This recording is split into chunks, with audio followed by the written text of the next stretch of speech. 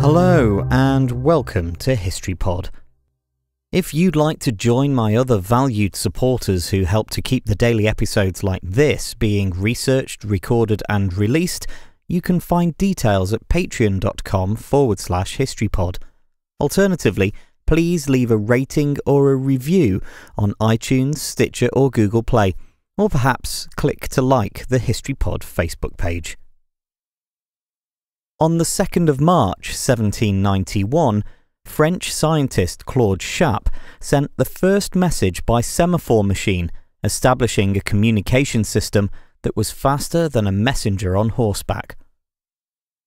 Chappe was born into a wealthy family in 1763 and originally trained as a member of the church. However, the turmoil of the French Revolution meant that he was unable to continue in his position and he returned home to focus on science. Working with his brothers, Chappe soon began to experiment with optical telegraph designs. Chappe was not the first person to attempt to create a system of long distance communication. The English scientist Robert Hooke had presented a proposal a century earlier, but his idea was never implemented. Consequently, the Chappe brothers were the first to successfully transmit a message when they demonstrated their system on the 2nd of March 1791, covering more than 16 kilometres from Brûlon to Parcé.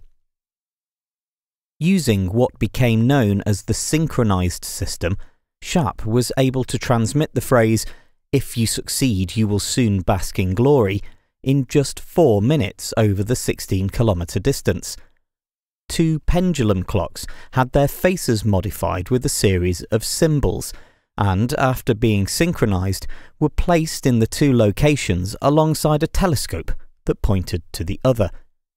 The transmitting station used black and white panels to alert the receiver to when the second hand of the clock was passing over the appropriate symbol, which they then recorded. The string of symbols, when decoded, then produced the message. Chappe soon abandoned synchronized clocks in favor of mechanical arms to portray the different symbols. When mounted on top of a tower, the arms could be seen through a telescope and their alignment either recorded or relayed onwards.